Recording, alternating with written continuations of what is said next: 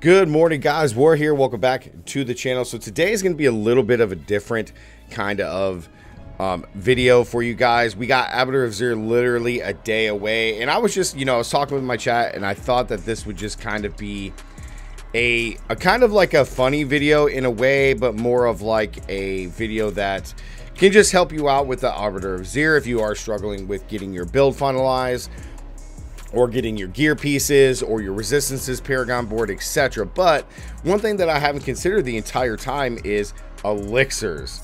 So we have a plethora of elixirs here in my inventory.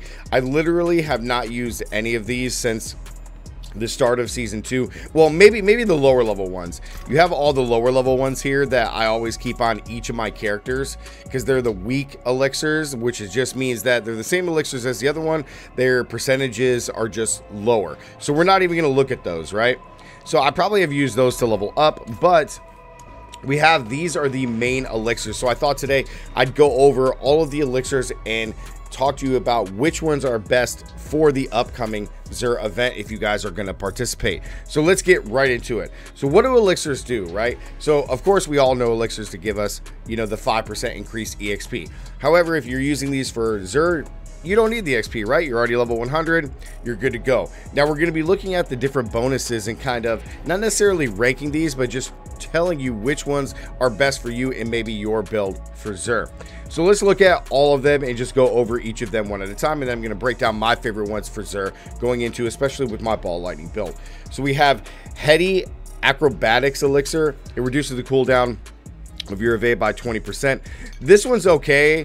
Um, if I am going to be like kind of ranking these, pseudo ranking these, this one would be at the end. You don't necessarily need this. A lot of players already have boots that have three or plus uh, maximum evade charges, so you don't really need the additional cooldown. However, if you are going to be using something like a flicker step, or you're going to be using something like Esu boots, or you're going to be using something different that doesn't have a lot of evade charges on it, then this may be good for you in the Arbiter, but really it's more or less of our defenses, offenses, and armor, right? So next we have probably arguably one of the best elixirs in the game, which is going to be Elixir of Cruelty.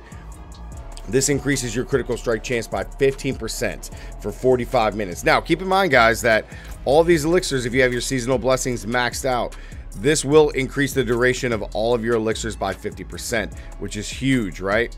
So instead of them lasting 30 minutes, they last 45 minutes, which is just fantastic for Zir. You can just pop one of these and just go for like an hour, right?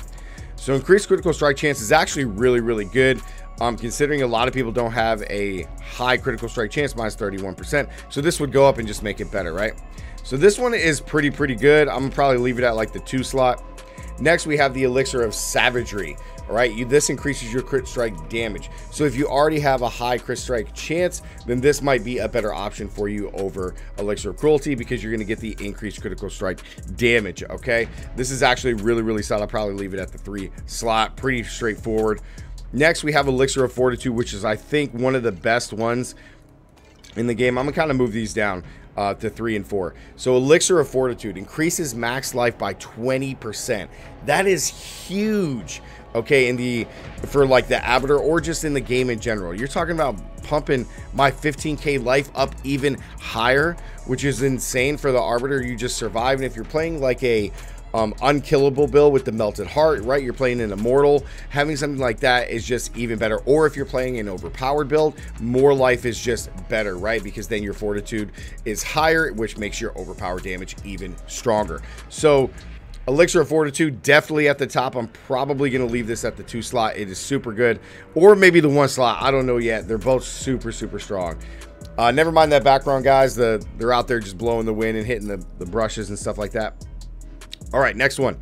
Expertise Elixir. This is actually really, really nice. It reduces the resource cost by 10%. It's not bad. However, at this point, if you're going to go fight the Arbiter of Zir, you should have all of your resources and resource management pretty much maintained. You shouldn't have any issues with resources, even the cost of your skills that you're going to be using. However, this one is actually really, really solid on when you're leveling up and using those things to just kind of mitigate your resources until you can fix those when you get to the higher levels. So right now, I'm probably going to put this one on the back end here and just it's just not as great. It's going to go probably next to the cooldown. This is probably the worst one that you need.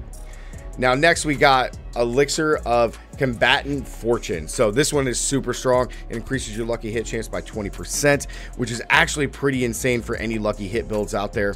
My lucky hit uh, chance bonus is 18%. So obviously it would go up and just make any kind of lucky hit variant super strong. This is good for Necro, Sorks, or any other like Barbarian. Maybe not even Barbarian. Maybe Rogue. Rogue has some really good lucky hit type builds, but this increasing your lucky hit is actually super strong if you're going to go that route and not have a traditional like resource management or you just need stuff that is just going to be procced by lucky hit to make your build go over the top.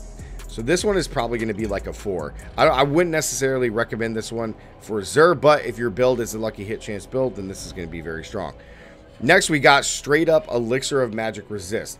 This is just going to pump all of your magic or all your all resist by 25%, which is insane. You can see mine are all completely maxed. I have skulls in each of my jewelry to give myself more armor. That right there is probably what you should be at. You should be able to use your Paragon board as well as your gear pieces here to increase your overall resistances. Okay, now you can see something like um, you know, just increasing your all stats or something like that. If I go over to my gear pieces here, some of my gear pieces, for example, like my helmet that I'm to probably swap out has shatter resistance on there.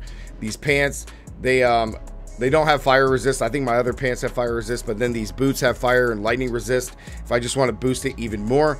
However, with your Paragon board and just your overall um, jewelry pieces, you should have max all resist. But if you don't, if you don't, then Elixir of Magic Resist is one to kind of help out. This is especially important on Barbarians because it seems to be like Barbarians have a hard time even with their boards to kind of max all these resistances. So Elixir of Magic Resist might actually be a very, very strong one for you. Next, we got probably one of the best in the game is Elixir of Resourcefulness. Increases your max resource by 50. This is going to go up to the two slot. I think increasing max resource is crazy important in a lot of builds. So now my, my mana would go to 290, or excuse me, 190 or 199, which is just insane as a flat.